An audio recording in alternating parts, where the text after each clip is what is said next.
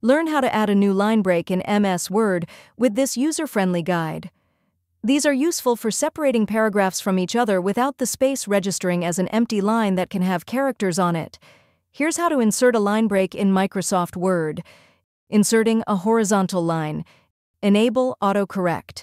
By default, this should already be enabled. If it's disabled, do the following. Click File, click Options, click Proofing, click Autocorrect Options, check the box for border lines. Then click OK.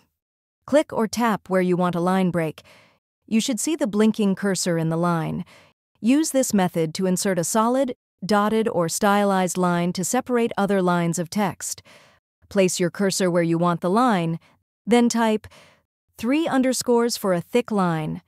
Press Enter, and Word will automatically create the line. That's it.